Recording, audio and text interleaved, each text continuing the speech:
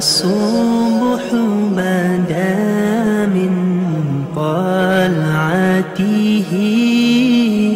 والليل دجى من وفرته Siapa nak dunia, dia kena cari ilmu. Siapa nak akhirat, tak dapat tidak dengan ilmu. Itu kata Imam Syafi'i rahimahullahu ta'ala.